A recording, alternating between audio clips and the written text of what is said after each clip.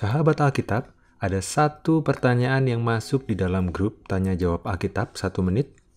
Apa itu lubang jarum unta dalam Alkitab? Baik, kita akan bahas segera. Sebelumnya, silahkan like, subscribe, dan share Alkitab satu menit.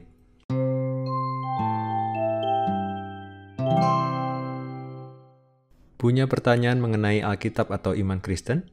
Tanyakan saja di kolom komentar, bergabung di dalam grup Telegram, atau tanyakan di WhatsApp. Alkitab satu menit siap menemanimu membaca dan mempelajari Alkitab secara mudah. Tuhan Yesus menyertai kita selalu.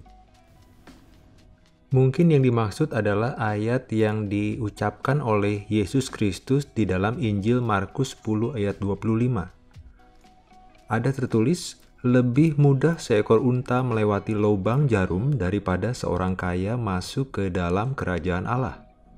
Sahabat Alkitab, perkataan tersebut diucapkan Yesus Kristus kepada seorang super kaya yang tahu bagaimana caranya memperoleh hidup yang kekal.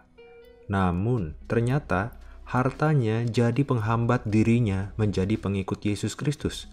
Lalu, untuk menegaskan betapa sukarnya orang kaya masuk ke dalam kerajaan Allah, Yesus Kristus mengungkapkan peribahasa tersebut.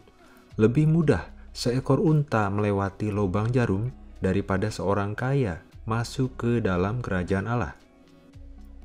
Ada sebagian orang yang menafsirkan bahwa ada pintu gerbang bernama lubang jarum di Yerusalem.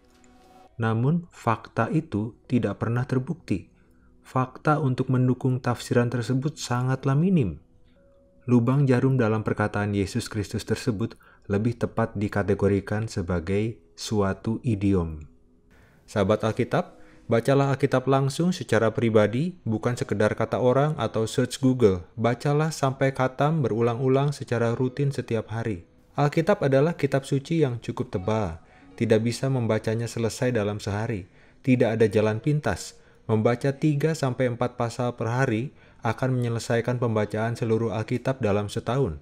Banyak pertanyaan akan terjawab saat sahabat melakukan saran kami ini tanpa keraguan sahabat bisa berdoa untuk mendapat pencerahan dengan hati yang rindu mengenal Allah yang sejati.